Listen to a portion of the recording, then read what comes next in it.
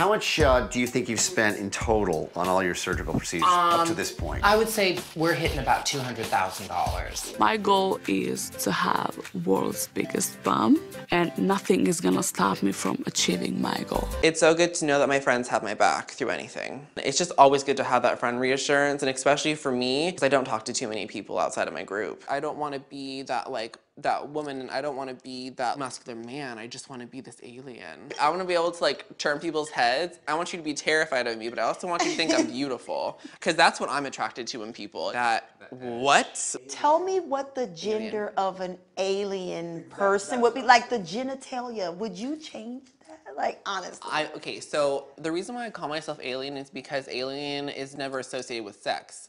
It's like genderless, it's sexless. And that's why I started saying alien. I like that. I went in also to see if actually I can just remove everything. Yeah, that that was Literally one of the be things. genderless. Really just have like a nub and just not have any sex a for the rest of minute, my a life. nub.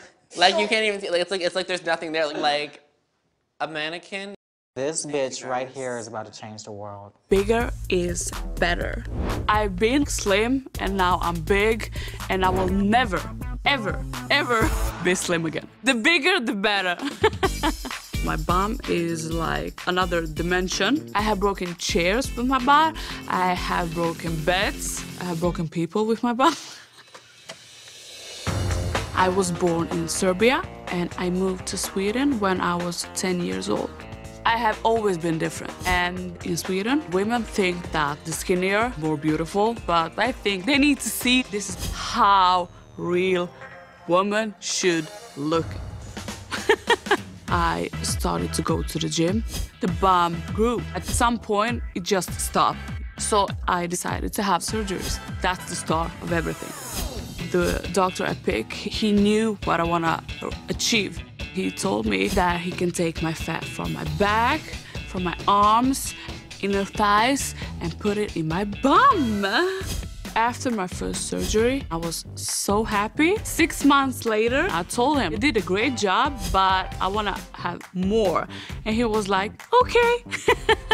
We planned the second surgery. I knew the more fat I have, the bigger bum is gonna be. So I decided to gain a lot of weight. I love to eat. I gained 20 kilos.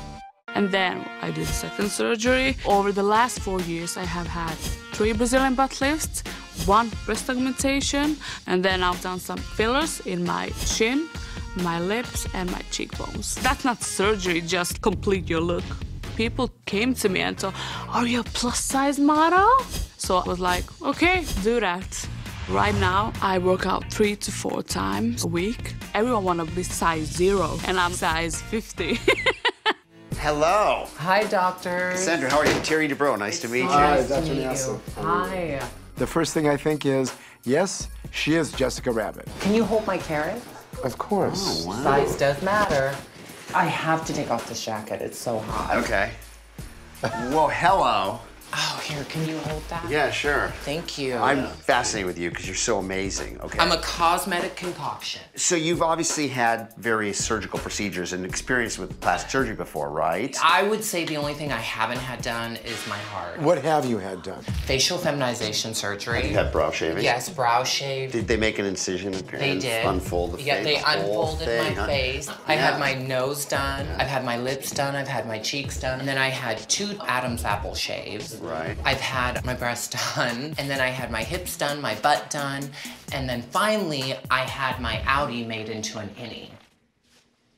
Yeah, no, no, Oh, a little, mean a little the lower, other- a little lower. Right, So that I outie. I used That to be. Roger. Yeah, yeah, yeah, yeah. That out. Yeah, that I, outie. I get you. Cassandra's really beautiful and really does actually look a lot like Jessica Rabbit. The fact that she's transgender just goes to show you how far she's come. Let me ask you a question. How much uh, do you think you've spent in total on all your surgical procedures up to this point? I would say we're hitting about two hundred thousand dollars for sure. All in. Beauty is power, doctor.